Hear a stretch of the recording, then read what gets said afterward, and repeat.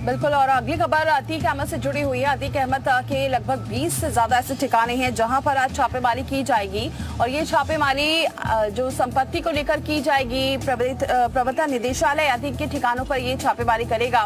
20 से ज़्यादा ऐसे ठिकाने हैं जहाँ पर आज नज़र रहेगी प्रवर्तन निदेशालय की। और आपको बताएँ कि शेल कंपनियों के ज़रिए करोड़ों रुपए प्रॉपर्टी में निवेश के सबूत मिल चुके हैं, जिसके आधार पर ये कार्रवाई की जाएगी। प्रयागराज, लखनऊ, नोएडा, दिल्ली में कई जगह ये छापेमारी आज जारी रहेगी। अतीक से जुड़े रियल एस्टेट कारोबारियों के ठिकानों पर भी पहुँचने वाली है आज ईडी ईडी ने बेनामी संपत्तियों के दस्तावेज़ बरामद कर लिए हैं और उसी आधार पर आज ये छापेमारी की जाएगी। तो 20 से ज़्यादा ऐसे ठिकाने हैं जहाँ पर आज ईडी छापेमारी करेगी, चाहे वो नोएडा हो नीतीश हमारे साथ बने हुए नीतीश, सबूत मिले हैं, दस्तावेज़ लगातार मिल ही रहे हैं और इसी आधार पर आज कई जगह पर ठिकाने में छापेमारी चलेगी आज।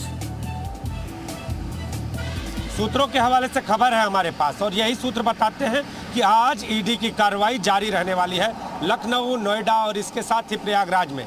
जिस तरह से अतीक अहमद और उसके छोटे भाई अशरफ की मौत हुई। मौत के बाद तमाम सवाल खड़े हुए कि आखिर ये जो माफिया तंत्र का पैसा है, वो कहाँ लगा है? आखिर कौन सा ये जो व्यवसाय है, ये पूरे तंत्र को सपोर्ट कर रहा है? ये बड़े सवाल थे और ईडी ने इन सवालों का हल भी तलाशा है। आपको बता दें कि शेल कंपनियों के जो मिली के कारण, जो रियल इस्टेट के कारोबार में जो पैसे लगे हैं, उसके सबूत ईडी को मिले हैं और ईडी इन्हीं सबूतों के आधार पर छापेमारी कर सकती है।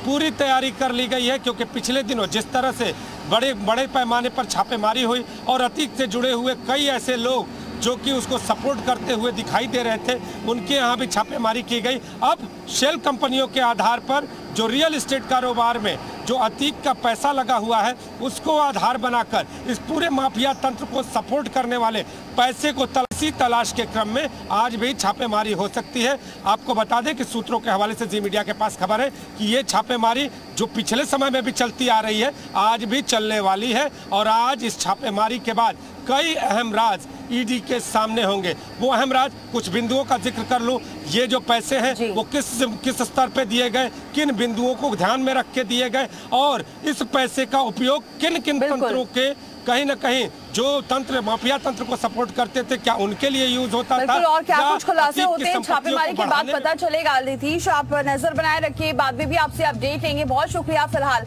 ये जानकारी हम तक पहुँचाने के लिए।